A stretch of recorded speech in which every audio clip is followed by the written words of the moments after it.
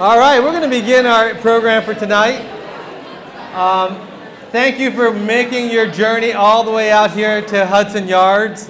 For those of you who took the seven in, it was a new experience for you, wasn't it? It was kind of, you came out of the station, if you're not a frequent traveler of the seven, it's kind of, uh, where am I? Uh, yes, you, are still in Manhattan, and uh, we're, we're glad that we were able to find this space. It is a beautiful space for us to kick off this year. And if you're a first time um, attender of a CFW event, we really want to welcome you. Uh, CFW is a part of Redeemer Presbyterian Church, and our mission is really to explore this intersection between faith and work. And we want to make clear to everyone that it's not a matter of uh, how uh, if you integrate your faith and work, but really how you do it and which faith do you bring into it. And our, uh, our vantage point is that when the gospel comes to bear at every aspect of your work, you will see a, a fullness in the work that you do that is a witness to the reality of the love of God and the resurrected Christ. That's kind of the conviction that drives what we do. And we have a myriad of program, programming throughout the year. And what you're at tonight is one of our monthly large group gathering events. And so we want to welcome you. And this year is really, and this night is really kicking off this year's theme, uh, which we've entitled The Soul of Work. And part of this idea is uh, understanding and trying to explore a new way of thinking about work. And my hope for tonight is that you will leave with a sense that my vision of work is way too small. And I want to present a proposition to you that the problem with our work is not that we expect too much from it, but actually that we expect too little from it. Uh, I'm evolving a C.S. Lewis phrase there, but I think by the end of tonight, I hope that what you're presented with is this sense that I really don't know what work is. And when we come to know what God has intended in creation as well as redeemed through Christ, our hope and our, our vision for work really needs to expand. And we think this idea of the soul of work really kind of encapsulate this uh, enlarging vision of what work is intended to be. And let me just, um, to kind of at least begin this conversation, I want to ask you a question. When was the last time you came home from work and you felt like, my work just engages every part of my being? I love my work. okay, well, I think the response says it all there. Um, it, it's, it's a little bit weird that, uh, you know, according to Gallup, over around 70% of Americans are disengaged at work. Right, think about it. The thing that most people spend most of their waking hours doing, people are disengaged. Meaning, for whatever reasons, they don't, when they go to work, it's almost like they leave their soul behind and they, they're just there doing their thing day in and day out. And unfortunately, I think that resonates with, I think, 70% of you, if the statistic is right, of those of you who are in this room that for whatever reasons, work has this kind of deadening effect on you. And let me just give at least when I've looked online to see what are the reasons why people are disengaged from work. Here are a few just to kind of help you think about uh, why you might feel this disengagement. One is the amount of stress and isolation at work, uh, the absence of a manager or a boss, uh, no training, no real raise potential, um, not a lot of non financial incentives, a lack of respect, a lack of communication, annoying coworkers. Uh, that one seems to kind of ring the bell with a lot of you. Uh, monotony, too many restrictions. And as you hear these things, yeah, these are, I think, helpful reasons why work is a bit less alluring for us. But at the same time, I don't think any of them really captures the heart of why work feels uh, very dissatisfying. And the way I want to start us off is by just thinking a little bit of when, when the gospel comes to us, it comes to us not only at a personal level, but because Christ died from the cross in a historic way this faith is not just a private, personal, subjective faith, but it's one that's rooted in a historical reality that's uh, concurrent with our own. Meaning, the resurrection of Christ changes everything. It's not just a personal, subjective transformation.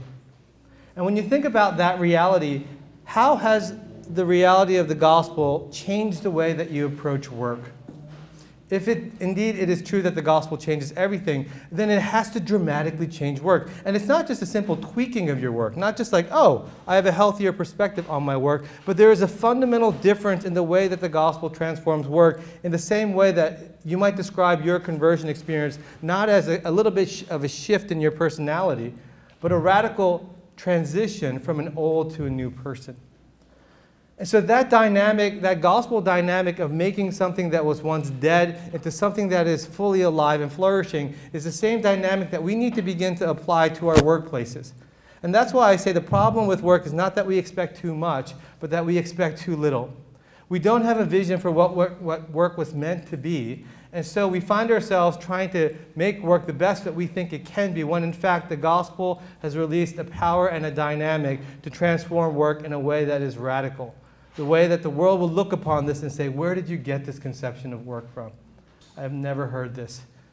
And so, my hope for this year and tonight, as we think about this theme further, is that it's not so much about 12 steps to take for a, a fulfilled work life, as much as to plant the seed in all of our hearts and our minds that will, over the course of our lives, really germinate and bear fruit so that we begin to distinctively work out of this larger vision of what the gospel can do to transform our work.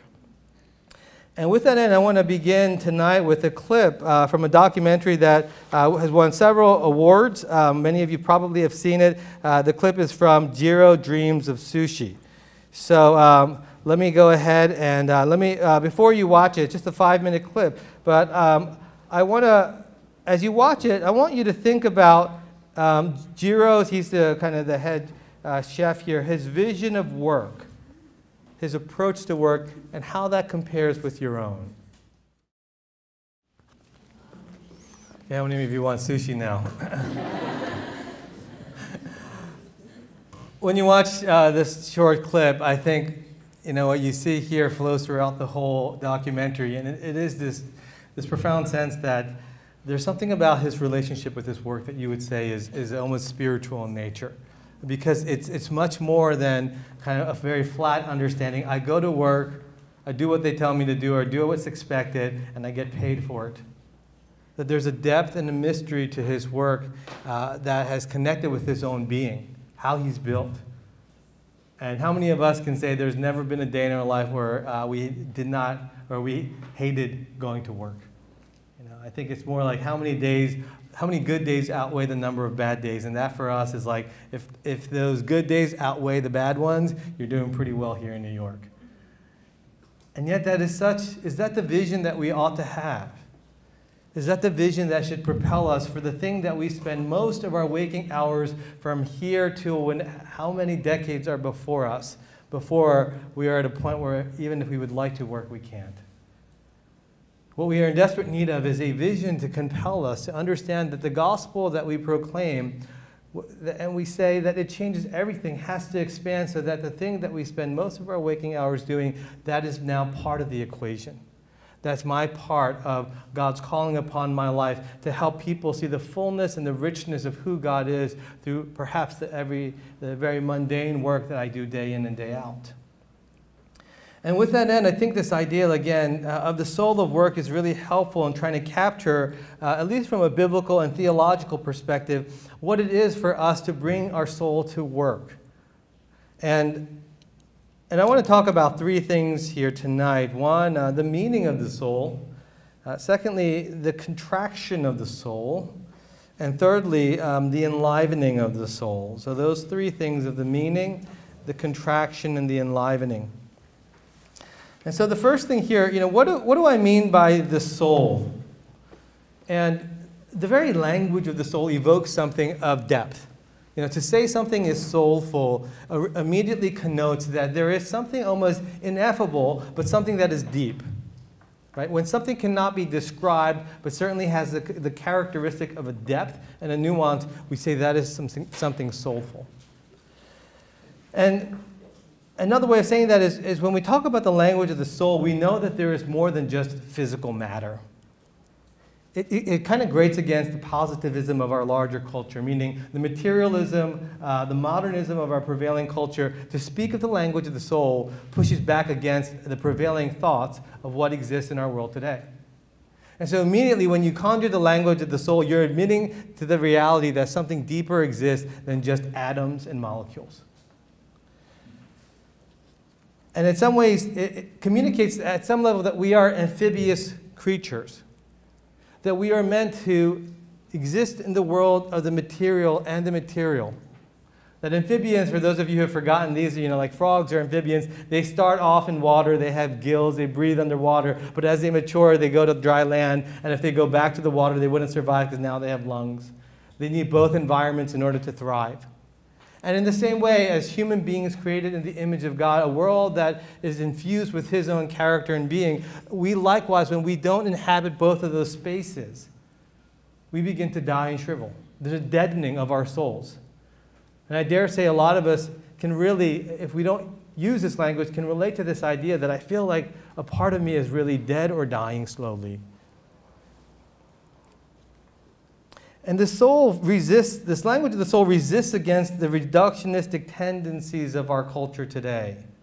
Uh, it, it, pushes back and presents a level of mystery. And, and in order to explain that a little bit, I want to um, disavow, I think, a lot of popular connections with this language of the soul. And that's often been uh, the Platonic understanding of the soul was really a separation between the soul and the body. And that the body was really the prison house of the soul, that what was eternal and lasting and important was the invisible, immaterial soul. And the body is, in some ways, just the thing that we need for the soul to experience this world and inversions of Platonic thought that you would in this life, in some ways, have this reincarnation. If you were a good person, your soul would come back in the life form of a, a higher being. And that the greatest point of release would be for the soul to escape the body, the material. This was certainly uh, a prevailing kind of philosophy during the time of Christ, and the biblical language of the soul is in stark contrast to that. When the Bible presents the language of body and soul, it's always inseparable. It's not so much describing two different realities as, as much as it's pointing to two vantage points of the same whole. That the soul and the body are inseparable, and that's why in the Christian notion of hell, hell is the separation of the body and the soul. That this is unnatural. This is what happens when things go wrong. The ultimate expression of wrongness in our world is this division, the separation between the material and the immaterial. And so, in the, in the biblical context, the language of the soul is something that brings uh, a real beauty and depth to the language of who we are as human beings. There's a mystery to it, and there's also this understanding that, again, we are more than just atoms and the material things that we see in one another. And when you look at Genesis 2 3, um, the language there when, in the creation of Adam and Eve is uh, the, the literal translation is God created a living soul, and sometimes translated a living being. And that word appears in the very beginning of the text of Genesis in order to communicate who we are as people created in the image of God. Now, let me be clear, too, for those of you who were to do a, a more in depth study of this word, soul, you would see a varied use of that word throughout the whole of Scripture. But when you look at all the various contexts and usages of this word, it's connoting something that cannot be contained or defined in an easy form. Part of the understanding of the soul is you can't reduce it to one simple definition because it's trying to describe life, vitality, the beings that we are. And so, so let me just begin with, with that concept that when we think of ourselves as people who have souls, we begin already from this very mysterious, um, non reductionistic, expansive starting point. And then when we begin to apply some of the theology that perhaps, again, if you're here for the first time, uh, one of the things we often talk about is work is the expression of our identity. It's not the source of it. Right? We don't derive our identity, our worth, our value, our security from our work. Rather, it is the very expression of who we are. And so there is an intimate connection between who we are and what we do. And hence, there is this, the language of the soul of work. Not so much that work is a living entity that has an inherent soul in and of itself, but it's communicating the intimate relationship between who we are as people who have souls and what we do with our lives that should be the expression of who we are. In some ways, in the same way that when God created human beings in his image, our work also bears that quality. So that when you look at the sushi that Jiro makes, there is something qualitatively different from that and the sushi you would find in Duane Reade. right? there's a soulfulness in that work. And we would say there is in that, and, each piece of sushi like costs like $35, just to be clear. Um, and, and he's th- he has a three star Michelin restaurant that's literally in a subway with like six seats. That's his restaurant. Um, but we can see in the difference if I were to you know, both present and to taste Jiro sushi and Duane Reade sushi, what it means to be, have soulful work and non soulful work.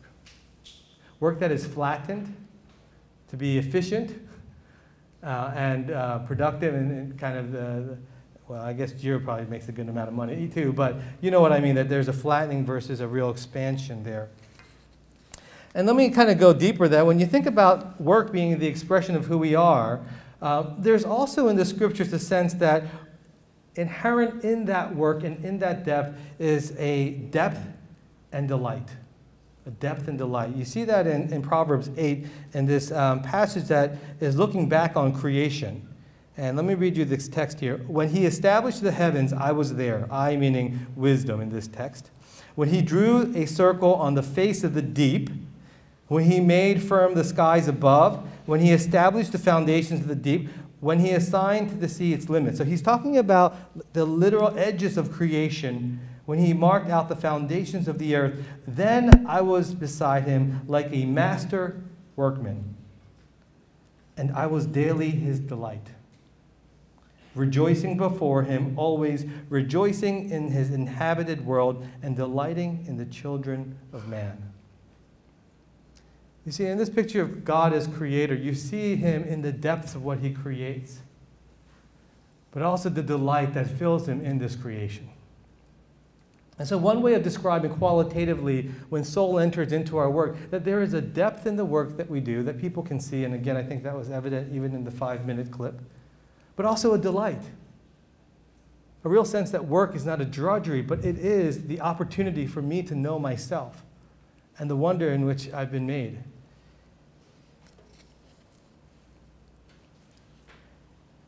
And again, the comparison of work and our identity and the, the, fusion of those things at some level, it's a bit like a lot of us, as, as uh, for those of you who might have grown up in a church context, when you think about salvation, it's often been these we need to save people from going to hell. But that's a bit, that vision of the, the gospel is a bit like, well, we need to save fish, but forget the ocean. you have to save the ocean if you're going to save the fish, because that's what they were created to be in. And at some level, if God just saves us, but we are created to work because work is the expression of our being and our identity, of course God is interested in the soul of our work. He wants the work that we do to embody who we are because out of the fullness of our being comes a fullness of work. Just to drive this point a little bit clearer, I want to. Um, I've been reading a lot of Edwards over the summer, and I know uh, Jonathan Edwards is not a theologian that's often connected with kind of work theology, but I found him to be one of the most insightful in thinking about faith and work and some of the theology that should really begin to shape uh, the way we think about our work. And let me read you this passage from, um, this was actually a biographer named uh, George Marsden. He wrote this kind of magisterial work on the life of Edwards, a big tome, and then he wrote a second, smaller book, uh, which is not a summary of the tome, but uh, was another unique contribution, but much faster to read. And let me just read you uh, an excerpt from this quote, uh, this book, because I think it begins to broaden our uh, understanding of the world in which we live. Uh, and Marsden writes this Edwards now saw that the universe was essentially personal, an emanation of the love and beauty of God, so that everything, even inanimate matter, was a personal communication from God. So, in contrast to many contemporaries, such as Benjamin Franklin, who saw Newton's laws of motion as providing the model of understanding an essentially impersonal universe, Edwards started with a personal and sovereign God who expressed himself even in the ever changing relationships of every atom to each other. This dramatic insight would be the key to every other aspect of his thought. Like a mathematician who had discovered an elegant solution to an immense problem, Edwards was captivated by the beauty of this insight. He now found the doctrine of God's sovereignty, quote, a delightful conviction. In them, he was now, he, was overwhelmed by a new sense quite different from anything he had ever experienced before This new sense was a sort of inward sweet delight in God and divine things. And such experiences, which recurred throughout his life, clearly were related to his intellectual breakthrough. Once he understood the grandeur, goodness, and glory of God in large enough terms, he began to have a life changing emotional encounter with the beauty of God. These compelling experiences of beauty might come, as they first once did, simply from the meditating on Scripture that spoke of God's greatness and glory, or they might well up while he contemplated the loveliness and beauty of Jesus Christ, or he might be overwhelmed by walking alone in the fields, considering the works of creation the sun, the moon, the trees, the flowers, or even thunder. And I would add to that perhaps you might see the beauty of God in these profound, life changing ways through the work that you do each day. That the scriptures begin to open up our eyes to see the reality of what we do day in and day out from a very different vantage point.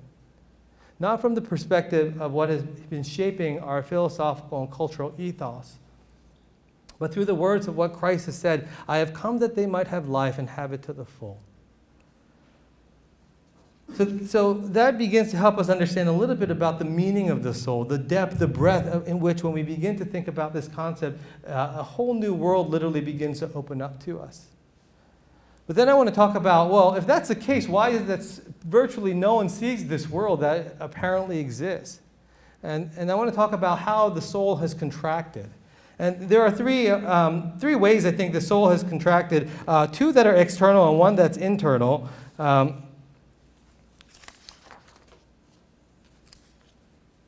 And the two external ways, let me just start, and I want to go through this pretty briefly. Um, uh, one that is kind of philosophically driven, and one that has been technologically driven. Uh, the philosophical kind of external um, influence has really been, uh, you know, what we've been experiencing in the West for centuries now, the rise of modernity and this worldview that has essentially demythologized our world. The idea is now that we are modern people, enlightened, to know that things like ghosts and demons and gods, they don't really exist anymore. And so we have to grow up now and create a worldview in which that's consistent with that conviction. We know that our past ancestors depended upon this spiritualized world in order to explain the things that they could not explain and in order to get some level of comfort in the mysteries of life that could easily overwhelm them. But now we have science, and now we have neuroscience.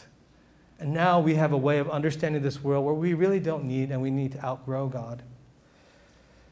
And this, this kind of secularism, um, in some ways, the positives of that move uh, philosophically, philosophically gave human beings a tremendous amount of freedom because we were no longer culpable to anyone or accountable to anyone. Not even our families any, anymore, and especially if you're not accountable to God, then why do you have to be accountable to your parents or to your family? And so there was this aggressive individualism that began to spread very quickly and a, a very rugged kind of self determinism as well that the benefits of the Enlightenment and the modernity that ensued afterwards was this idea that I am the master of my own fate. But what philosopher Charles Taylor begins to outline in his book, Secular Age, is that there is, in the result of that disenchantment, this ongoing, this uh, growing of what he calls a malaise of modernity. And to make these philosophical terms a bit more kind of um, tangible to us, I want to now turn to uh, the popular media to get a sense of what does he mean by the malaise of modernity. And I, uh, with that, I want to um, share a quote from another interesting book called How to Survive the Apocalypse by uh, two friends of ours here at CFW. Um, and they wrote this book uh, looking at popular shows and trying to understand what is going on in our larger culture. And, and the quote is this We once had the Cold War utopianism of Captain Kirk. And now we have J.J. Abrams' Star Trek Into the Darkness, with its none too metaphorical annihilation of logic and inversion of the Trek universe through the destruction of the planet Vulcan. We've gone from the idealistic psychohistory of Isaac Asimov to the fatalist siren call of the Cylons in Battlestar Galactica. We went from the sacrificial valor of hobbits to the purging of innocence in Westeros. You know all those references, you watch a lot of shows, so good for you. Um, but when you look at other popular shows like the you know, movies and shows like The Hunger Games, Her, Game of Thrones, House of Cards, you know, you name whatever's hot on Netflix or uh, on, on, on uh, one of those um, media outlets, all of them have the common theme of a dystopic vision of our world. That in the, in the desire to be the, our own masters, authenticity becomes the key for uh, what is meaningful and true. And when we look deep inside of ourselves and in the world, the thing that becomes the most resonating to be true is the brokenness that we find within and without. And you can only conclude that for us to find meaning is to come to terms with the reality of the brokenness of our world. And it is hard to watch sometimes these shows. But at some level, we keep watching them. We binge watch because for some reasons it seems to resonate within us in a very deep way. And that's because philosophically, our larger culture has philosophically stripped away that sense of anything deeper than the material world that we inhabit. As much as we want to believe in things like the soul and the spiritual realm, they now have to be relegated to the, the realm of fiction and superheroes and zombies. That's where we're going to get our fix. But we, when we begin to try to import that into the world we inhabit, then it feels like we're a little bit off the deep end, and you're no longer living in reality. So that's, that's number one, kind of philosophically. Number two, a lot shorter here, is the way that technology has made the speed of our lives so much faster, meaning it's so hard to find quiet moments in your day. Think about today. What was the longest stretch of quiet that you had where you had a sense of solitude? Now, for many of us, it's perhaps the walk to the subway. It's certainly not during the subway. But at best, it's almost like the only time we get, and the subway stops are typically not too far if you're living here in New York City, not that far from where you live, or ideally. Meaning that the speed of our external lives has created, again, this kind of neglect of our own souls, because for the soul to grow, as we'll see, it needs a sense of solace and solitude. It needs an awareness of the interior life an acknowledgement that it exists in order for it to flourish and grow. But where do we find that when you're getting a, uh, an endless stream of emails as well as updates from various social media outlets? When is there ever an opportunity for our soul to begin to breathe? Abraham Kuyper said it well uh, at the beginning of uh, the 19th century when he said, Our personal life as men and citizens subsists not in the comforts that surround us, nor in the body which serves as a link with the outward world, but in the spirit that internally actuates us. And in this inner consciousness, we are becoming more and more painfully aware how the hypertrophy of our external life results in a serious atrophy of the spiritual. It's a great phrase. The hypertrophy of our external life results in a serious atrophy of the spiritual, or I would say soul. So that's reason number two. Reason number three, why our souls are contracted, is internal to us. It's the nature of sin within us. The most succinct and most beautiful way to share this is with a quote, and I actually printed this because I think it's, uh, it's really worth um, just being able to um, let this sink in a bit. I've used this quote several times, but I think it captures so well uh, the impact of sin internally and the contraction of the soul that ensues. Before, and as God created him, he was exalted and noble and generous.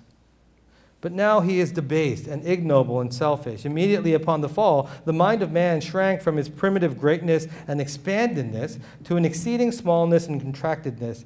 And as in other respects, so especially in this.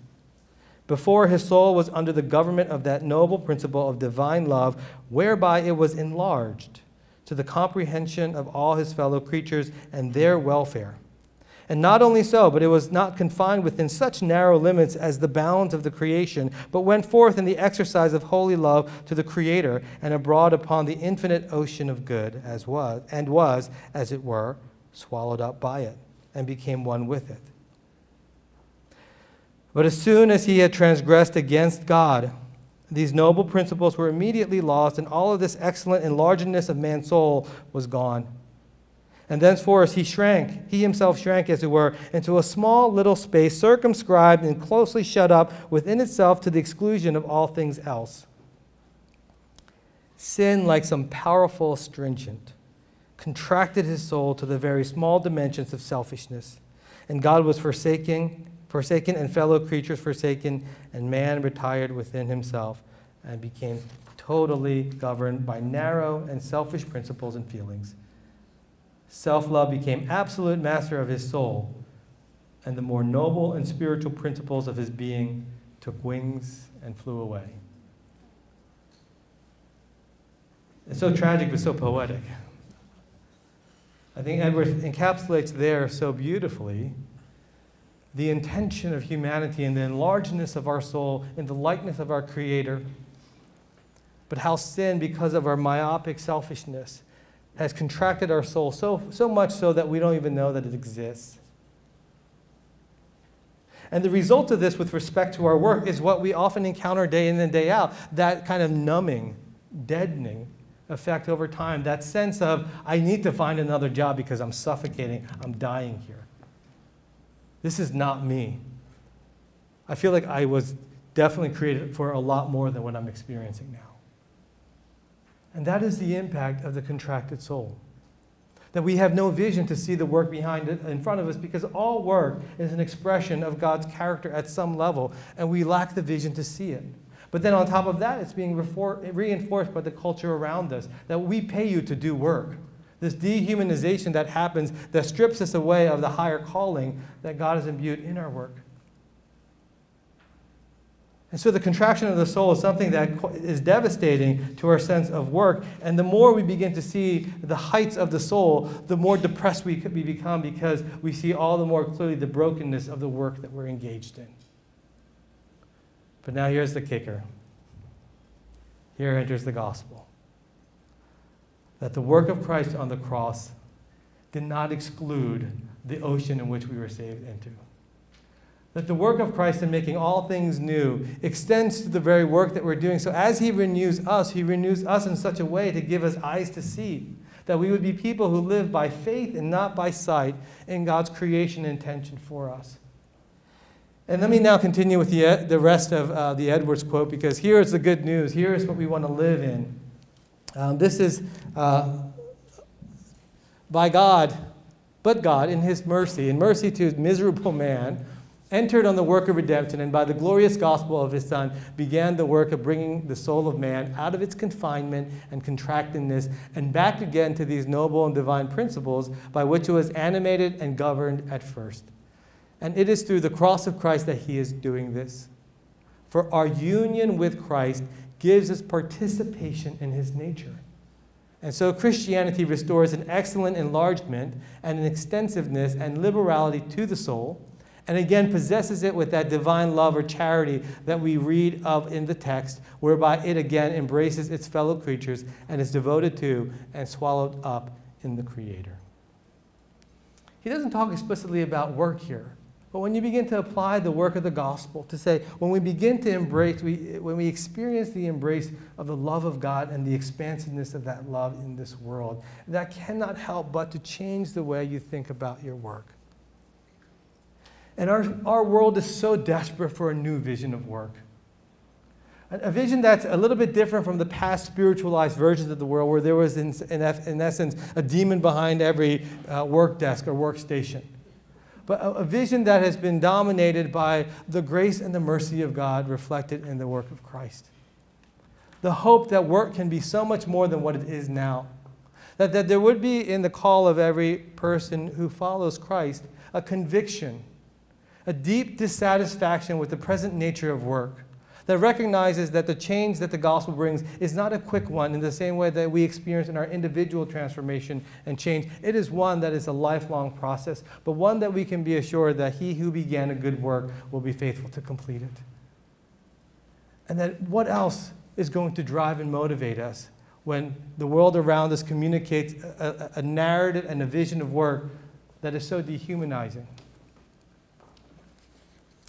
And so let me close with this, you know, the enlivening of the soul.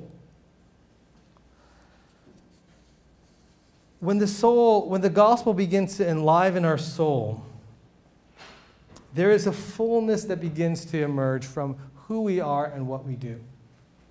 Again, from the fullness of who we are, our being, emerges a fullness in our work. And let me try to qualify a bit what I mean by kind of this fullness. Um, that when we consider the, the work of Christ, and you can go on to the next slide, we live in a world that has, in some ways, dichotomized uh, many aspects of existence. And you can see I'm, I'm operating at a pretty high level here. And this is really about trying to paint a different vision of work. That we experience in our world this division between the material and the immaterial, meaning that when we think about the world in which we inhabit, the only things that are ultimately true and real are the things that are material and physical. But the gospel presents to us that there is an immaterial beyond the, beyond the material that is as real as the material and intimately connected with it.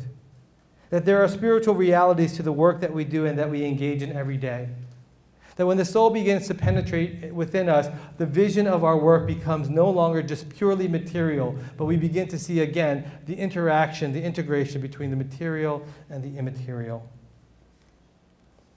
And not only that, with respect to our world, that this next um, dichotomy of the immanence and the transcendent, the immanent and transcendent, refers to our reality is not confined only by the material and immaterial of, immaterial of our world, but that the scriptures communicates the reality of a transcendent world, a world that is outside of our own purview that in the immanence of our world, there can be a sense of living in a closed system of resources and time. Meaning, when all that we see is this immanent world, there is a real box that we live in. And yet, we know that there is a God who is both immanent and transcendent, reminding us that there is something beyond the world that is connected to this world. That there is not a limited pie in which we are all fighting for resources and time, but all of a sudden, when transcendence enters into our world, there is this opening that we can do things and think about things differently because transcendence is part of the immanent world that we live in.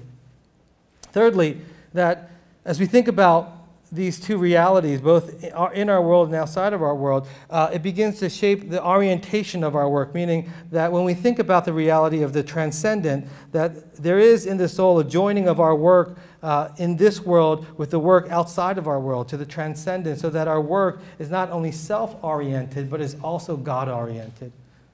Meaning the purpose of our work, the telos of our work, is not only for our own benefit, meaning a sense of security, a sense of identity, a sense of worth. All these things we do at some level receive from our work. But along with that, there is also the additional orientation that our work is coram deo, in the face of God, that there's a Godwardness to our work, that our work not only benefits us as individuals, but is a reflection of the very glory of God in tangible ways.